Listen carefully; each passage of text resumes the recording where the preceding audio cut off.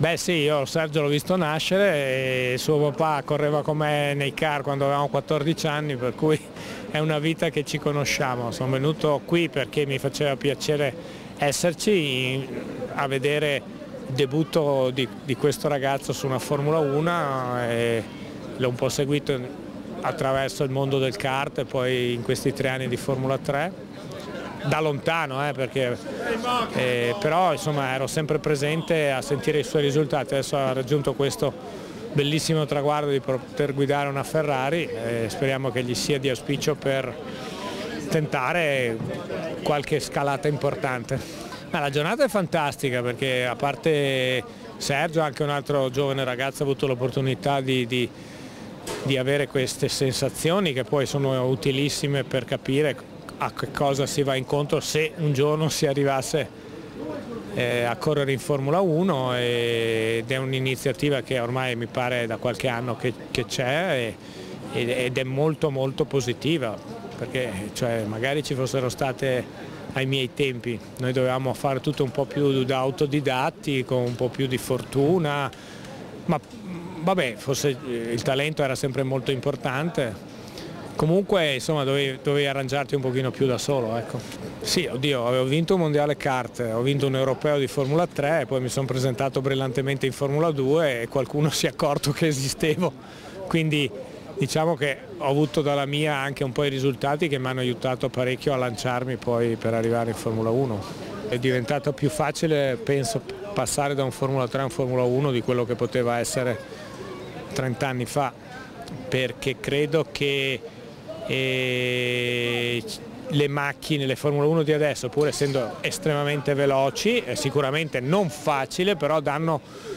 eh, la possibilità anche a piloti non con tanta esperienza di fare il salto quasi immediato, cosa che invece ai miei tempi eh, dovevi trovare il team manager che investiva un po' su di te perché sapeva che se arrivavi a guidare un Formula 1 avresti creato dei problemi tipo danni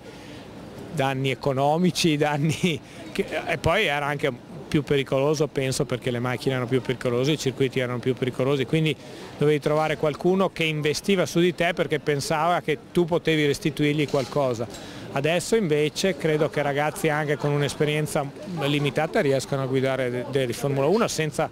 fare dei grossi, dei grossi danni, dei grossi problemi, un po' perché le macchine sono diciamo così eh, performanti ma nello stesso tempo un po' più confortevoli, credo un po' anche perché i circuiti sono decisamente a un livello di sicurezza maggiore. Eh, sì, è una cosa che era auspicabile prima, adesso c'è e quindi è molto positiva e deve continuare. Spero che questo programma che hanno impostato alla Ferrari di allevare giovani eh, talenti continui nel tempo e soprattutto che poi alla fine veramente poi si veda perché per il momento non si è ancora visto un giovane talento che è arrivato alla Ferrari o anche portato poi avanti a livelli di grosse categorie. Io credo che sia molto importante e speriamo che poi dopo ci sia anche un travaso e in squadra Ferrari possono arrivare i giovani talenti, possibilmente italiani, perché qui siamo un pochino eh, nazionalisti, quindi speriamo che siano dei talenti italiani che arrivino alla Ferrari. È difficile dire perché una volta eravamo in tanti, adesso siamo pochi in Formula 1. Senz'altro avevamo anche una spinta economica notevole, allora c'era molta spinta da parte degli sponsor che aiutavano i piloti italiani a trovare eh, posti in Formula 1. Poi ci sono dei corsi e ricorsi storici, una volta non c'era neanche un tedesco, adesso ci sono i tedeschi che, che sono fortissimi, Schumacher prima, Vettel adesso, francesi non ce ne sono proprio e una volta i francesi invece erano molto importanti in Formula 1, quindi speriamo che comunque sia un periodo transitorio e che adesso si, si torni ad avere degli italiani. Io credo che di giovani in questi anni, anche qui a livello di campionato eh, di Formula 3, test in Ferrari, qualche eh, giovane valido si, sia venuto fuori, poi magari non sia ancora legato diciamo, al treno della Formula 1, però anche nelle altre categorie ha fatto qualcosa di buono. speriamo che a un certo punto ci siano anche dei piloti giovani che si agganciano al treno della Formula 1 perché poi quello è il palcoscenico più ambito, più visto. Però se andiamo un po' in giro nelle varie categorie di italiani buoni ce ne sono. Sono parte perché se voi avete visto io quando, quando ho smesso a correre non è che sia stato mai molto presente nel mondo delle corse, in effetti faccio un, tutta un'altra vita, mi sono appassionato ai cavalli, all'equitazione,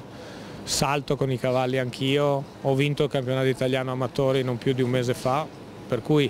sono più legato diciamo, a quello che poi mi hanno eh, introdotto come passione le mie figlie e adesso sono coinvolto anch'io, per cui Diciamo che come interesse primario ho questo, che mi piace l'equitazione. Poi chiaro i Gran Premi li guardo, quando ci sono stati i, GP Masters degli over 45 mi è piaciuto partecipare perché ho una passione ancora per, per, per lo sport, però mi sono reso conto che mi piaceva guidare io, cioè se sono io che mi siedo al volante, mi piace molto e ci provo molto gusto, poi magari guardare gli altri li guardo, però come ho detto se mi si sono introdotte altre varianti e quindi trovo gusto anche a fare anche qualche cos'altro.